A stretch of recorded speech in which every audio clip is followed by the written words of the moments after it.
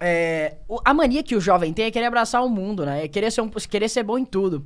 Eu falo pra galera que eles têm que ser muito bons naquilo que eles naturalmente são bons fazendo. E não querer assumir tudo, puxar a responsa pra si e fazer um pouco de tudo.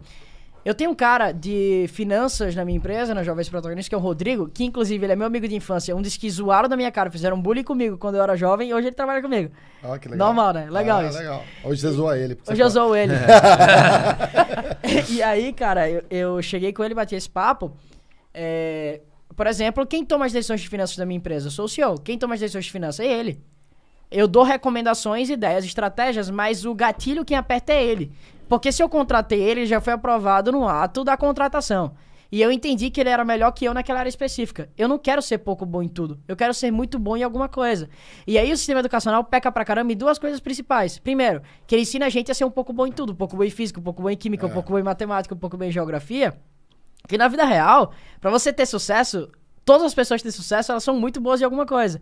Então, quando você falou que você era um generalistazão, mas não era muito bom em nada, depois você foi uma piada, eu me assustei. Falei, caramba, como é que você tem sucesso, você não sendo muito bom em Não, alguma eu coisa? sou. Na- Aliás, senão, o meu Diego salário é humilde. baseado. Não, o Diego é humilde, ele não quer falar, eu, mas ele é muito bom. Eu é. construí a minha. Não, eu, eu teria sido leviano se eu negasse a minha, a a- o fato de eu ser especialista. Porque eu cresci a minha vida toda como um especialista de finanças barra tecnologia. Eu tô no meio dessas duas indústrias, né?